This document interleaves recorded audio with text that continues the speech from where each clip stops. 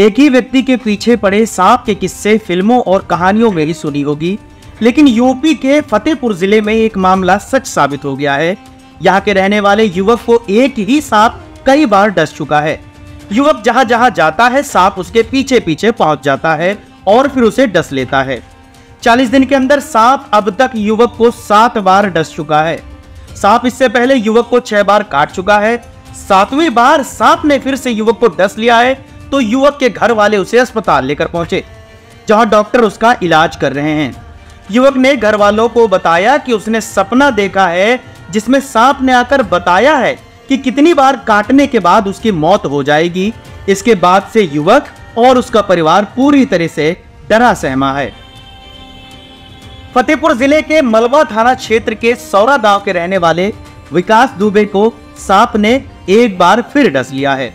सांप विकास दुबे के पीछे इस कदर पड़ा हुआ है कि वह जहाँ कहीं भी जाता है, सांप डसने के लिए वहीं पर पहुँच जाता है। इससे पहले विकास दुबे सांप के हमले से बचकर अपनी मौसी और चाचा के घर जाकर रुक गया, लेकिन सांप वहाँ भी पहुँच गया और विकास दुबे को फिर से डस लिया। सांप ने विकास दुबे और उसके परिवार वालों का जीना हराम कर दिया है। सांप विकास दुबे को अब तक सात बार काट चुका है। विकास दुबे के घर वालों ने बताया कि सांप ज़्यादातर शनिवार और रविवार को ही डसने आता है। लेकिन सातवीं बार सांप ने गुरुवार की रात में ही विकास दुबे को डस लिया।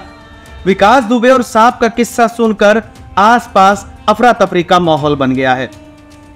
डॉक्टर भी बार बार एक ही सांप के काटे जाने के बाद अस्पताल पहुँच रहे मरीज़ को देखकर दंग हैं। हालाँकि विकास दुबे को एक बार फिर अस्पताल में भर्ती कराया गया है, जहाँ उसका डॉक्टर जवाहरलाल इलाज कर रहे हैं। सांप के हमले से विकास दुबे और उसका परिवार पूरा दहशत में आ चुका है।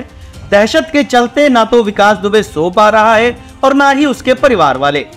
विकास दुबे के घर वालों ने बताया कि विकास को एक सपना आया था। सपने में विकास ने उसी सांप को देखा जिसने उसे डसा है।